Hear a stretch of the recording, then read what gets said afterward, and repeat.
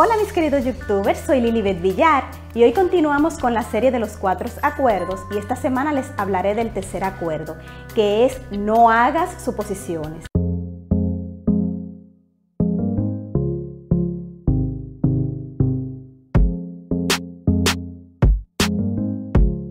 Tendemos a hacer suposiciones todo el tiempo. El problema es que al hacerlo creemos que lo que suponemos es cierto. Juraríamos que es real, Hacemos suposiciones sobre lo que los demás hacen o piensan. Nos lo tomamos personalmente y después los culpamos y reaccionamos enviando veneno emocional con nuestras palabras. Este es el motivo por el cual siempre que hacemos suposiciones nos buscamos problemas. Hacemos una suposición, comprendemos las cosas mal, nos lo tomamos personalmente y acabamos haciendo un drama de nada. El suponer siempre crea problemas ya que cuando suponemos lo hacemos basado en nuestra propia percepción de la realidad, en lo que creemos que es y entonces no conocemos la verdad. Hacer suposiciones en nuestras relaciones significa buscarse problemas. A menudo suponemos que nuestra pareja sabe lo que pensamos y que no es necesario que le digamos lo que queremos. Suponemos que hará lo que queremos porque nos conoce muy bien si no hace lo que creemos que debería hacer, nos sentimos realmente heridos y decimos, deberías haberlo sabido. Otro ejemplo es cuando decides casarte y supones que tu pareja ve el matrimonio de la misma manera que tú. Después, al vivir juntos, descubre que no es así. Esto crea muchos conflictos. Sin embargo, no intentas clarificar tus sentimientos sobre el matrimonio. El marido regresa a casa de trabajo y la mujer siempre está furiosa y el marido no sabe por qué. Quizás sea porque la mujer hizo una suposición. No le dice a su marido lo que quiere porque supone que él la conoce tan bien que ya lo sabe, como si pudiera leer su mente.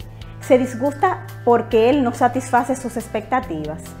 Hacer suposiciones en las relaciones conduce a muchas disputas dificultades y malentendido con las personas que supuestamente amamos.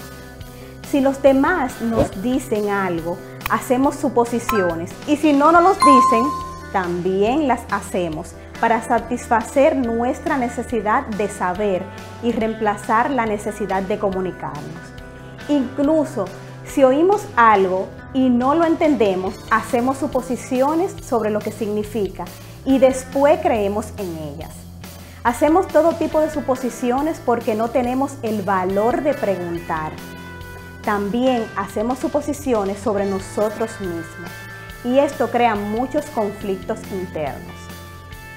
Por ejemplo, suponemos que eres capaz de hacer algo y después te descubres que no lo eres. Te sobreestimas o te subestimas a ti mismo porque no te has tomado el tiempo necesario para hacerte preguntas y contestarlas. Tal vez necesites más datos sobre una situación en particular o quizás necesites dejar de mentirte a ti mismo sobre lo que verdaderamente quieres. Imagínate tan solo el día en que dejemos de suponer cosas de nuestra pareja o de cualquier persona. Tu manera de comunicarte cambiará completamente y tus relaciones ya no sufrirán más a causa de conflictos creados por suposiciones. Dice el doctor Ruiz, la manera de evitar las suposiciones es preguntar. Asegúrate de que las cosas, que te, de que las cosas te queden claras. Si no comprendes alguna, ten el valor de preguntar hasta estar claro e incluso entonces no supongas que lo sabes todo sobre esta situación en particular. Una vez escuches la respuesta, no tendrás que hacer suposiciones porque sabrás la verdad. Asimismo, encuentra tu voz para preguntar lo que quieres. Todo el mundo tiene derecho a contestar sí o no, pero tú siempre tendrás el derecho de preguntar. Del mismo modo, todo el mundo tiene derecho a preguntarte y tú tienes derecho a contestar sí o no. Si no entiendes algo, en lugar de hacer suposiciones, es mejor que preguntes y que seas claro. El día que dejes de hacer suposiciones, te comunicarás con habilidad y claridad y libre de veneno emocional. Cuando ya no hagas suposiciones, tus palabras se volverán impecables.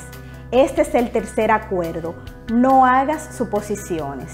Decirlo es fácil, pero comprendemos que hacerlo es difícil, dice el autor.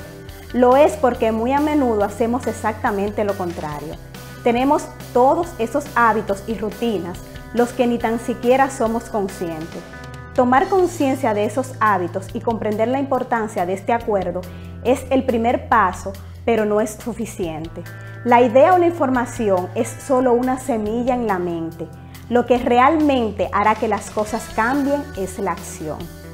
Actuar una y otra vez fortalece tu voluntad y nutre la semilla y establece una base sólida para el nuevo hábito que se desarrolla. Tras muchas repeticiones, estos nuevos acuerdos se convertirán en parte de ti mismo y verás cómo la magia de tus palabras hará que dejes de ser un mago negro para convertirte en un mago blanco. Un mago blanco utiliza las palabras para crear, para dar, para compartir y amar. Y si haces un hábito de este acuerdo, transformarás completamente tu vida. Cuando transforma tu sueño, la magia aparece en tu vida y lo que necesitas te llega con gran facilidad porque el espíritu se mueve libremente en ti. Esta es la maestría del intento, del espíritu, del amor, de la gratitud y de la vida. Este es el objetivo del tolteca. El autor lo define como el camino hacia la libertad personal. Así que ya saben, dejemos de suponer y comencemos a preguntar y a esclarecer las cosas. Nos vemos la próxima semana con el cuarto acuerdo. Recuerden compartir el video, darle me gusta y suscribirte al canal. ¡Chao!